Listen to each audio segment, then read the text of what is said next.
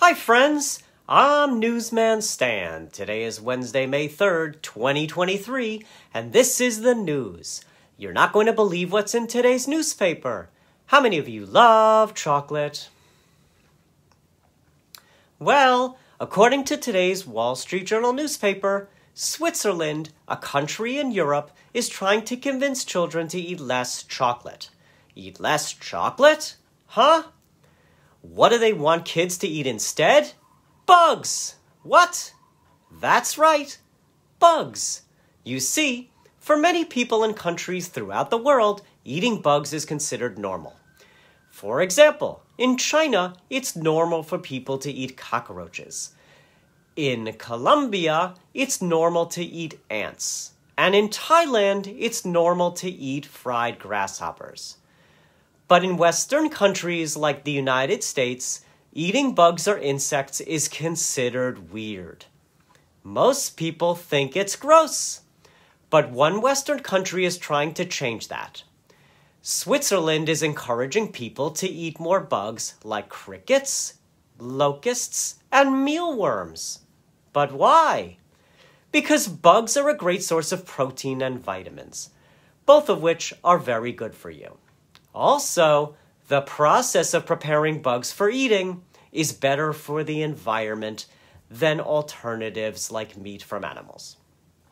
But what's the problem? If you're not used to eating bugs, it's going to be tough to convince you to try them. And most adults think bugs and insects are gross. So, how is Switzerland trying to convince people to change their minds? They're focusing their efforts on children. But why? Because children are generally more curious about new things. So, Switzerland is thinking that there's a better chance children will try bugs than adults.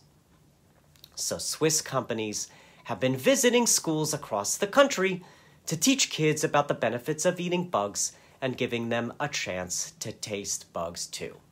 And maybe their plan is working.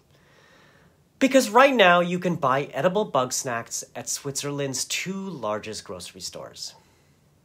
If they're being sold at big grocery stores, we can assume that a lot of people are buying them. Is there a lesson to be learned from this newspaper story? Well, Switzerland is focused on convincing children to eat bugs because they know that kids are curious. They know that kids are open to new things. And while maybe you're not the kid who wants to eat bugs, being curious is a great way to lead your life. Being curious inspires you to learn new things, make new friends, and have new experiences. So stay curious, my friends. Well, that's it for me for today. And remember, friends, it's a complicated world out there, but there's always safe news in every daily newspaper, and I'm here to help you find it. Make it a great day, and I'll see you next time.